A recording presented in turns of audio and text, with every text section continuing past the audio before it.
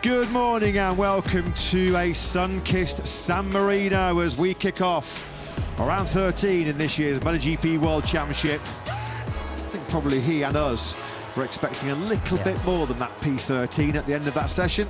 As he just feels shoulder. for that left side. He was telling us about his shoulder and his neck, but also perhaps his, his ribs as well add a little bit more context to Jorge Martin's double here last year. I'm not saying he wouldn't have still done the double, but of course his biggest rivals last year, Bagnaia and Bezzecchi on that occasion, were both riding injured. So Bagnaia will feel he's perhaps maybe in a bit of better position this weekend to give Jorge Martin some headaches.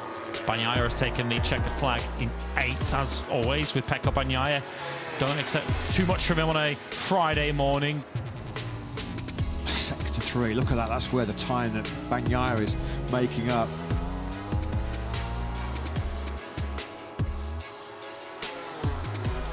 One thirty point eight eight five. That is some response. That is some answer, isn't it, uh, to all the question marks about his physical condition. Watching him, it looked like he's saving energy a bit. You know, he knows the track. He knows he's got the setup. Marc Marquez looking to respond. He was really close to the green there on the exit of that final corner. Jorge Martin finds the first 130 lap of the weekend, a 130.966. A top three of Bagnaia, Marquez and Martin. Your top three in the World Championship.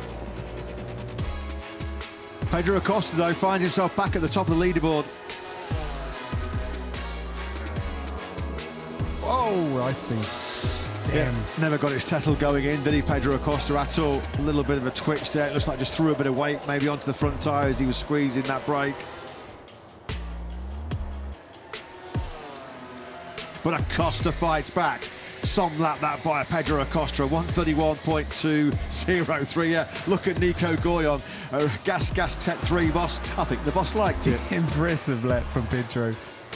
Vinales 13th. I really thought Vinales would be in top 10 today. You know, with high grip, he's he's traditionally good here. We mentioned Aleix Espargaro being in the danger zone. Well, he's in the crash zone now. We're in that phase, aren't we, with Vinales summer? You never quite know what number 12 is going to turn up from week to week. At the moment, it's the fast one. A 131.301 has put Vinales up into P7.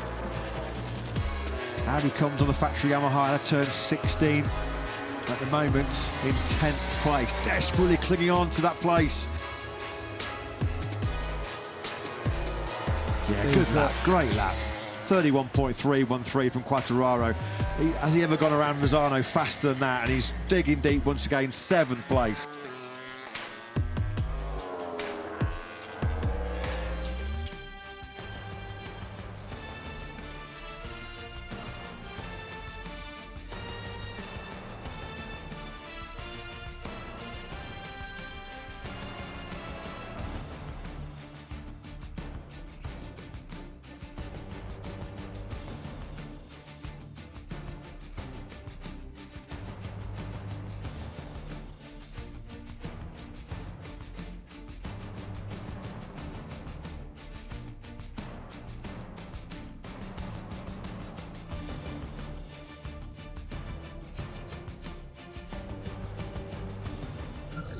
If you can get enough MotoGP, click here to subscribe.